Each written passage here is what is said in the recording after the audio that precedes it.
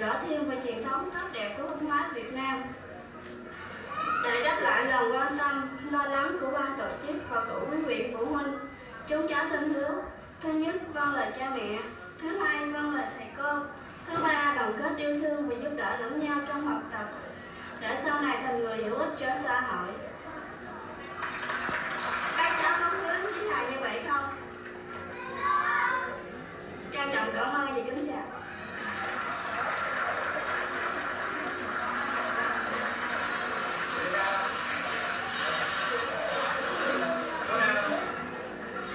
Chuẩn bị tiếp tục chương trình tiết mục thứ hai xin mời hai cháu